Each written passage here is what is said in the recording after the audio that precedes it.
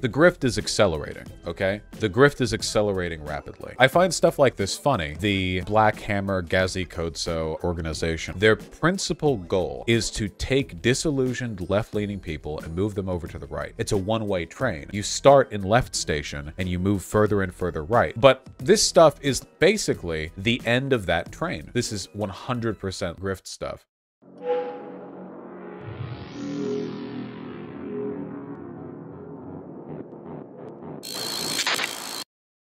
I gotta say, I still have a headache. This is my favorite thing of today. This is my favorite thing of the day that I would say. Black Hammer Times, that's the Gazi Kodzo outfit. You heard it here first. The Black Hammer Org and the Proud Boys are forming a coalition to defeat the disgusting, pedo-loving, welfare economy democrats and their puppet master, Big Pharma, who has been poisoning us all for too long. Is this real? Uh, it's their Twitter account. And yeah, it is actually. Let's listen. Hammer, and we need to all get on the right side of history, which is both sides uniting the Proud Boys, Black Hammer, black and brown working people, white working people coming together against this elite big pharma situation. It is a fight between good and evil we in right now. This is serious stuff, y'all. This is serious stuff. I'm telling you, it's the situation of why I'm here. I'm not here because I like the way Gavin smell. I'm not here because money to bail me out, whatever like that. Trumpers put that money in ASAP and got me out. While BLM and Antifa laughed about it, ignored it, and said that they wish I died there because of my stance on pedophilia and the fact that I Gazi mm. Kodzo is pro pedophilia. That's crazy. Started I started reading the Bible more. I can't be a oh Christian and be a revolutionary. Jesus was a revolutionary against Rome. And shoot, Fauci looking like Caesar to me. Why would he say they didn't want to help me because of my position on pedophilia rather than saying they didn't want to help me because they're pedophiles? Like what why would he phrase it in such an ambiguous way? Why would he why would he do that? I wonder. Yeah, what what is his stance on the issue? And first, I'm proud of you, son. I'm proud of what you have built. I'm proud of the work you have done. I know it's not easy is, being is a Gaben gonna talk, especially against this this Fauci empire, this Dementia Joe empire. Well, you big... were there from day one. Oh, we say Uhuru because of you. I know, I know. Okay, so Gazi Kodzo, I just want to be clear, is a actual lunatic who uh probably should be institutionalized. Um, we, we were actually just last night, okay? You guys know the Channel 5 video, the, you know, uh, Callaghan, uh, where he made fun of one of that those Uhuru marches where it was like white people or black people saying white people should give them money. And then the org did a response saying that Andrew Callaghan was a white nationalist. And anyway, we did kind of a rabbit hole thing, but I looked at the. We can just watch the. Yeah. Well, well, hold on. You know, I don't. I don't know why I'm referencing something that happened in a prior. I can just. I can just put it here on. I can just show it. Uh, here you go. Brilliant stuff, really. Okay. The African People's Socialist Party condemns the recent slanderous attack on our movement for reparations and Black freedom by a white nationalist YouTube personality by the name of Andrew Callaghan. We think it is important to condemn this attack on our movement at a time when African people are being gunned down by the police every single day. Eh, it's it, it goes on from there. White nationalists, etc. Yeah, no, it's it's good. It's good, and it keeps going. Okay, but anyway, we we kept going down this this rabbit hole, and we found an article. So this uh, woman has run for office locally a couple of times. We found an article on BlackHammer.org, uh, which she's a part of, I believe, uh, from Gazi Kodzo saying, "Don't vote for her." Because she's actually the puppet of another cult leader who's using her to do other race stuff. I don't know. Uh, the website's a bit slow, but eventually it's going to load. Yeah, okay. So then Gazi Kodzo provided this video, which is of this woman talking about how, well, talking about her leader, so to speak. You know, this is kind of like a cult battle. Say, like, you know, you save my life. You save my life versus just being able to be born and live a free life and not having to feel like that. But we owe our lives to you, Chairman. We owe our lives to you. because you saved the world. You saved the entire planet.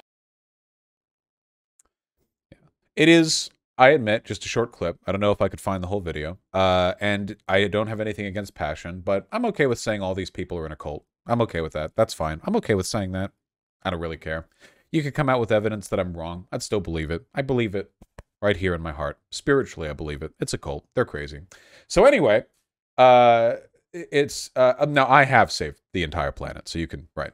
So anyway, uh, they're they're all insane. So Gazi Kodzo, I, I, just seeing this like weird culty infighting. But the reason I find this really funny, I think this in particular, is because I genuinely think isn't this basically just like one step forward from the Jimmy Dore thing, right?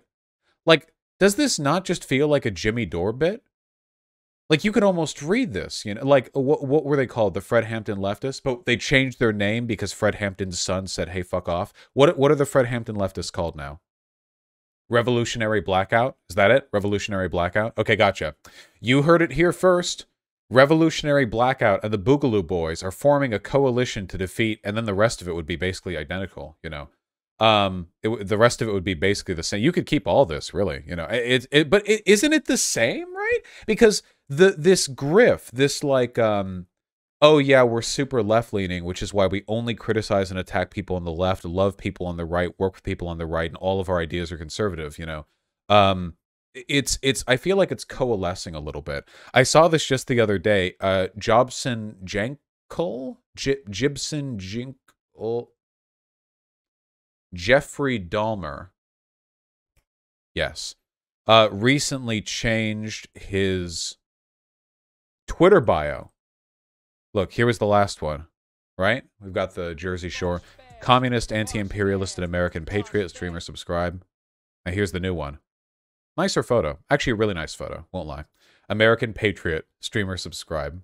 Now, this was the guy who was screeching that he needs to remove his DSA pin from his jacket because he wants a hammer and sickle pin. I mean, this guy was so communist that he was he he was demanding his audience donate him a hammer and sickle patch to put on his yeah yeah yeah yeah yeah and then yoink the grift is accelerating okay the grift is accelerating rapidly as i've said before whether you're talking about jimmy dore the pseudo leftists, formerly known as the Fred Hampton leftists, before Fred Hampton's son got angry at them.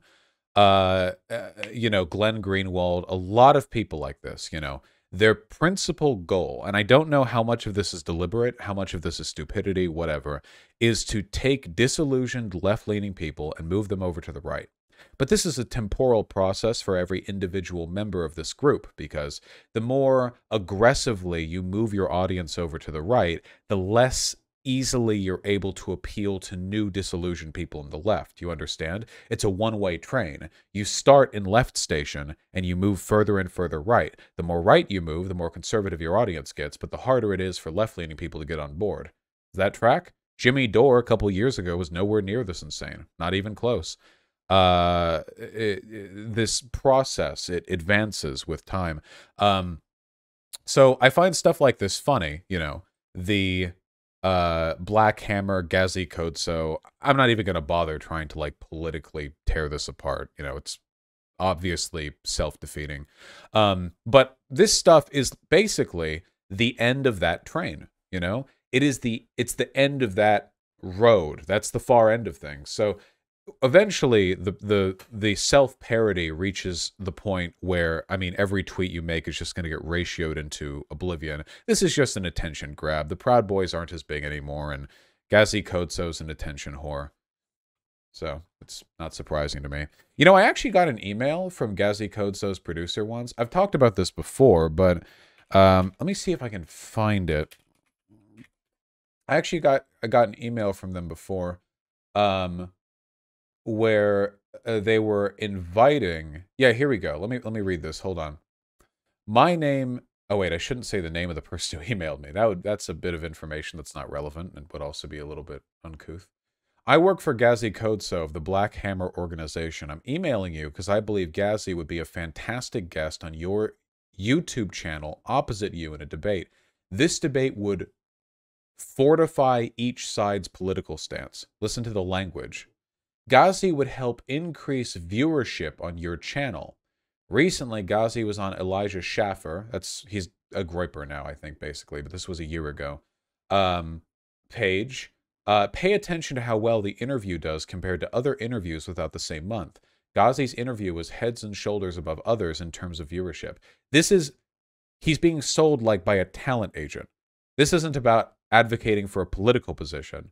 This is about let's both get attention from this. This is this is 100% like a like a grift stuff, you know. Um, the unique perspective Gazi offers would bring you new audiences and tap into a younger crowd. Take a look at his most famous and viral video.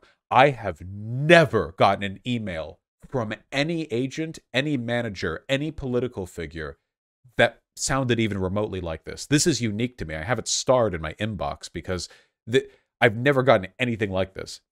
Usually people ask if I want to talk or say there are some interesting subjects to discuss. They don't they don't sell it to me. They don't pitch the viewership. Like it's just it's yeah.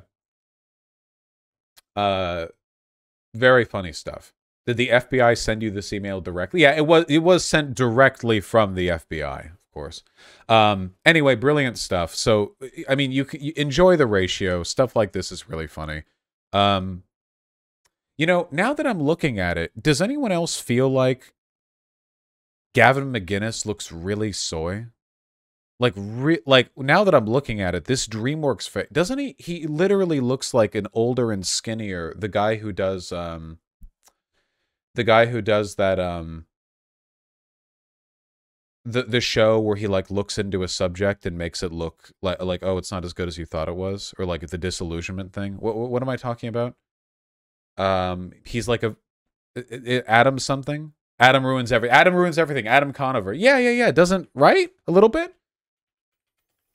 Don't get me wrong. Like I don't have anything against Adam Conover. I don't think. Uh, but I mean, you know what I'm talking about, right? Like vibe wise. I can't even. Can I get like a DreamWorks face here? Here we go. Maybe a little bit. I don't know. I, I feel like a little bit.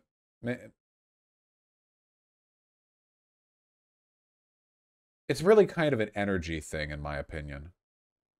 It's an energy thing, not necessarily an appearance thing. It's it's an energy. It's spiritual. I'm feeling their vibes right now. Okay, their their chakrams are resonating. It it's a it's a whole thing. You wouldn't understand. You're not spiritually attuned like I am.